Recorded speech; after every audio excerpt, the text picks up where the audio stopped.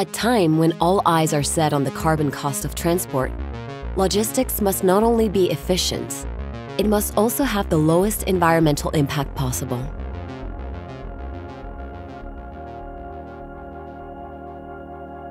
So we're considering the targets um, for this project, as in many other projects, we have to do a good balance act between cost to make our business sustainable and profitable, customer service that we deliver on time, and last but not least, of course, emissions and greenhouse gas targets that we have.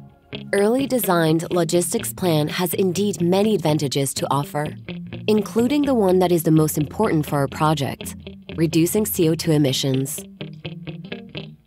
The decisions that we make in how to transport can have a drastical impact. For example, choosing air cargo versus rail is 3% the CO2 impact or less than what you would have using air cargo. So the differences in the decisions that we make from the sourcing of the material and the urgency to bring those materials, it will have a considerable impact at the, at the bottom line.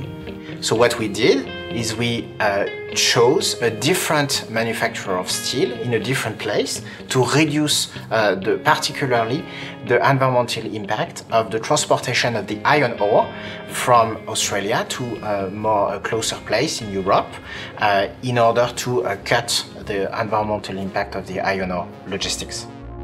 Smart logistics is a solution that we used in this case from Dassault Systèmes, and this combines a different set of capabilities that were necessary for this project.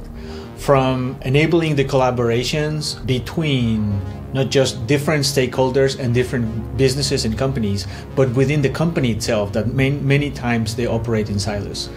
And then enabling all the different options and possibilities that only using advanced optimization capabilities like the ones we have will allow us to make much better decisions according to the KPIs that are important for this project.